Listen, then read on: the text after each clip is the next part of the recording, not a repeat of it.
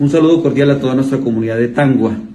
Quiero comunicarles que hoy eh, tuvimos conversaciones con el alcalde Daniel Santa Cruz de Yacuanquer, el doctor Alexander Cundar de Funes, en donde nos unimos a la voz y al clamado del señor gobernador para solicitar un corredor humanitario que nos permita al departamento de Nariño poder tener algunos enseres eh, realmente necesarios.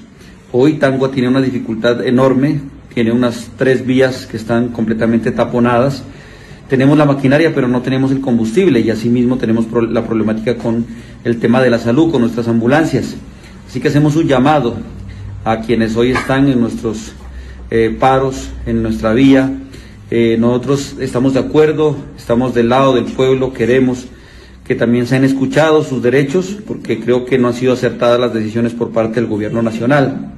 De eso estamos completamente convencidos y apoyamos eh, la voz de protesta de nuestro pueblo nariñense y de Colombia. Así que nos unimos a, esos, a esas voces de clamor, pero a la vez también solicitamos que se habilite ese corredor humanitario que hoy al departamento, a todas nuestras comunidades, a nuestros pueblos están siendo afectados.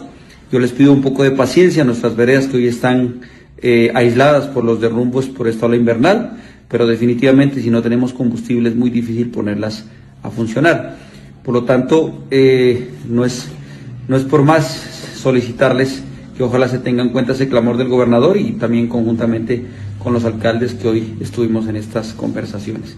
Les pido un poco de paciencia, pero eh, estoy seguro que hoy los, la dirigencia nariñense de todos los sectores gremiales, eh, ojalá tengan una, una importante noticia para el departamento, para el país, para que esta situación difícil que está padeciendo nuestro pueblo colombiano eh, se resuelva lo más pronto posible. Muchas gracias.